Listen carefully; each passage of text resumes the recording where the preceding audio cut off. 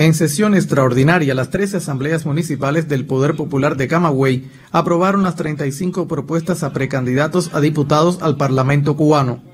160 delegados de circunscripción del municipio de Camagüey nominaron a 11 agramontinos que desde esa instancia representarán dignamente al pueblo en el máximo órgano del Estado en nuestro país.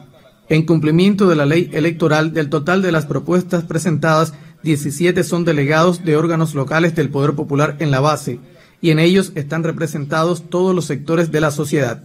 En la sesión extraordinaria del órgano de gobierno fueron ratificados como diputados por el municipio de Camagüey para su permanencia en esas funciones el viceprimer ministro Jorge Luis Tapia Fonseca, el miembro del Comité Central Joel Queipo Ruiz y Eulogio Pimentel, vicepresidente de BioCuba Pharma.